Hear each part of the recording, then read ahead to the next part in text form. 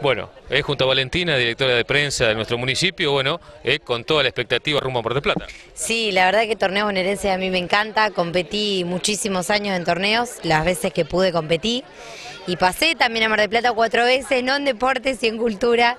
Sí, ahora vamos a acompañar a muchísimos deportistas, más de 30 llevamos representando a nuestro distrito, así que bueno, yo voy a estar informando desde, desde Mar del Plata y espero hacer el mejor trabajo posible. Gran responsabilidad te, vamos a encomendar. Gran responsabilidad, sí, vamos a hacer todo lo mejor y sobre todo acompañar a los chicos que, que ellos son los protagonistas de este viaje.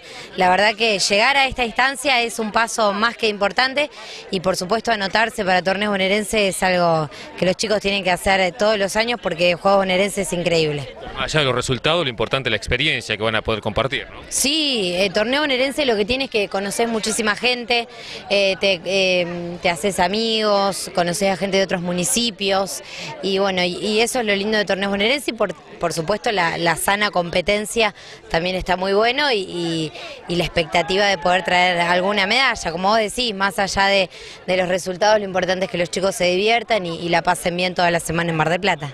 Bueno, así que vas a ser los ojos nuestros en Mar del Plata, así que esperamos que eh, se pueda desarrollar todo con normalidad y que tengas un excelente trabajo como sabemos que siempre lo haces. ¿eh? Bueno, muchísimas gracias, gracias, gracias a ustedes.